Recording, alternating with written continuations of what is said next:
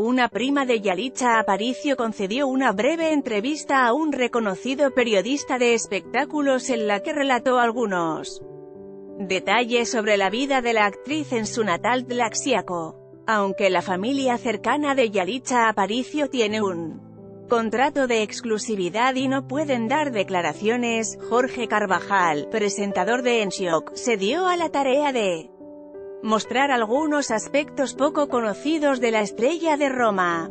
En un video publicado en YouTube, el presentador mostró la Casa de la Cultura de Tlaxiaco, donde el staff de la cinta de Alfonso Cuarón se acercó buscando a 30 mujeres nativas para sus audiciones en 2017, y donde Yalitza iniciaría uno de los viajes más importantes de su vida.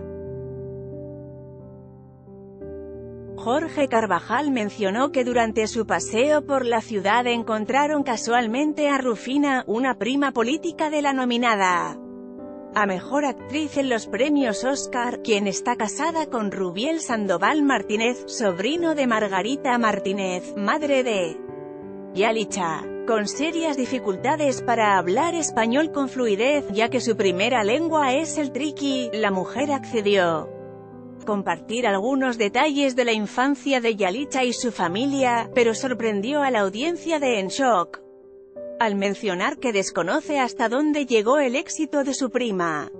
Según mencionó Rufina, Yalitza y su madre se apoyan mutuamente con los gastos de la casa, pues ambas trabajan, lo que le permitió a la estrella concluir sus estudios. Además, la prima mencionó que Yalitza tuvo un hermano mayor, quien trabajaba como taxista, pero falleció en un accidente de tránsito durante uno de sus viajes de trabajo.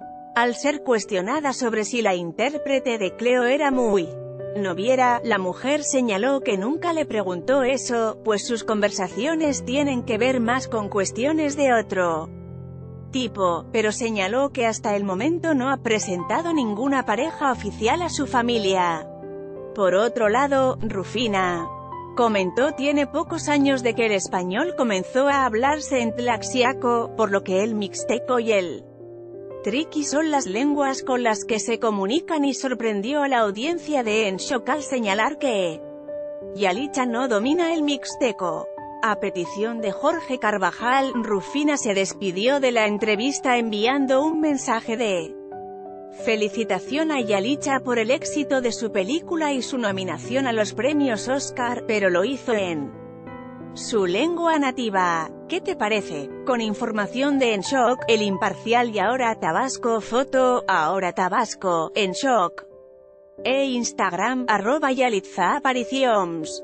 Anímate a comentar. Queremos saber tu opinión. Comentarios Powered by Facebook Comments.